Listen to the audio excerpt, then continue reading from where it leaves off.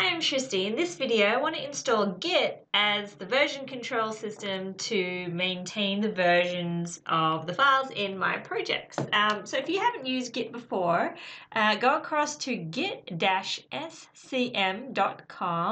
um, and just come across, um, you should see a big uh, download button. Just hit the button um, and then that should download the file that you will need for Git. Once you've downloaded the file, you can run the Git setup wizard. So this one, you just go through the options, read through the preamble if you wish, select a place to install, hit next, I'm going to leave the options as they are because it actually, if you just select the second option, it should actually install the GUI for you as well in case you choose to use that.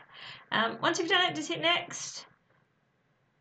Um, this is an important bit to have a look at because this is where a lot of people get, up, get get a little bit stuck when they go to try and use Git. They find that it's not in their path. So just use use Git from the command prompt. Just hit next. Um, just leave this one as um, checkout window style. And once you do that, just go ahead and hit, hit next and it will go through and install um, the Git process for us.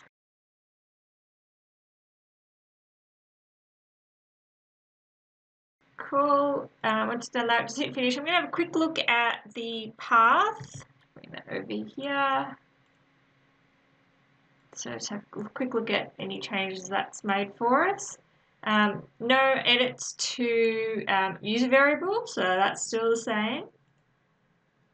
If I come down to path down here, I can see that we've actually got um, this additional uh, reference to uh, git uh, slash cmd, the git command um, at the very end added to um, the system variables part there. So now um, when we open up our console, we should be able to see that. So I'm just going to cancel that and just open up PowerShell. So if I jump into PowerShell, let's open that really big um, and just do a couple things here. So let's just check um, version of Node, uh, check that npm has been installed, um, and just check that um, Git is available. And you should see sort of a whole set of um, help commands come back. Um, if you see that Git is not recognized, um, then it's likely that there may be an issue with your path if you've gone through the installation process.